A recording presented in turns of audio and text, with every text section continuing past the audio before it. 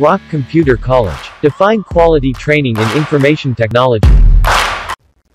Sometimes the information you include in your document is best displayed in columns. Now, Word can also allow you to adjust your columns by adding column breaks. So let's first look at how to add columns to a document. So select the text that you want to format. I'll select this. Then under Layout tab, select Columns command, then choose the number of columns you want to work with. So I'll choose 2 and as you can see, I have two columns in my document. Now your column choices aren't limited to the drop-down menu that appears. Now you can come over here and select more columns. And from here, you can choose the number of columns you want. So maybe let's put it to 5, then click OK. And as you can see, I have 5 columns. But that doesn't look good on my document, so I'll take it back to 2 columns. Just like that. Now let's look at how to remove columns. To remove columns, uh, formatting, place the insertion point anywhere in the columns. So I can place it anywhere I want. Then click the columns command on the layout tab over here and select one from the drop down menu. Just like that. And I've taken it back to the normal formatting. Now let's look at adding column breaks. So first I'll select just this and then two columns just like that.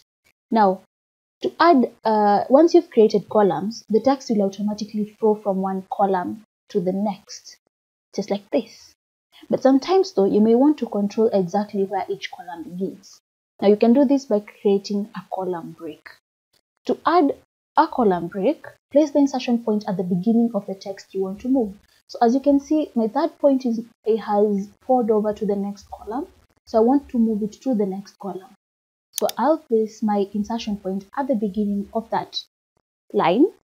Then select the layout tab, then click the breaks command. From here, a drop-down with menu will appear just like so. Then select column from menu. So select column.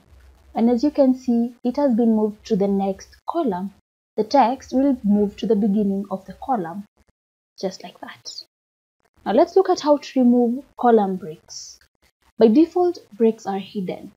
If you want to show the breaks in your document, click the Show Hide command on the Home tab.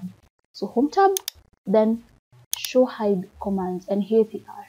And they'll show you where the column breaks are. So I have a column break command over here, as you can see. Now, press that delete key to remove the break. Um, let's say you choose whichever column break you want to delete. Let's say I want to delete this one. Then click the delete key from your keyboard. And by doing so, you've deleted that column break, just like that.